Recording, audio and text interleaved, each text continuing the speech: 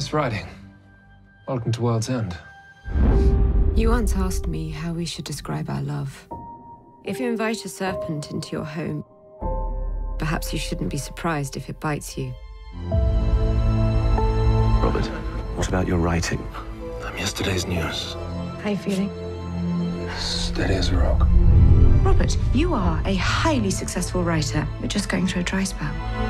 She's just won the group's top literary prize. Well, it's different from anything else I've read. But she's looking to move to England. We should ask her to come stay with us. Perhaps you two can work on a project together.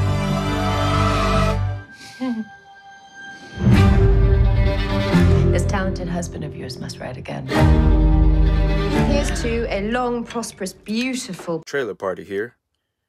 Just wanted to say thanks for clicking on the video. And thanks.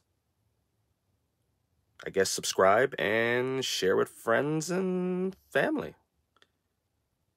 Back to the video. Partnership. Two women under one roof.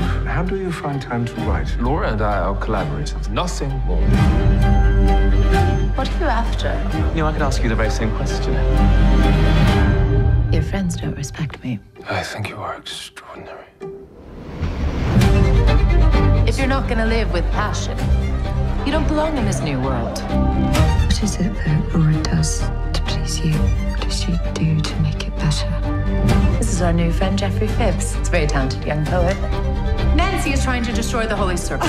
I want nothing to do with it. Do you understand? Can't you see? First Laura wanted you, now she wants me. I see everything. Everything. Nothing escapes me. Stay away from her before she destroys you.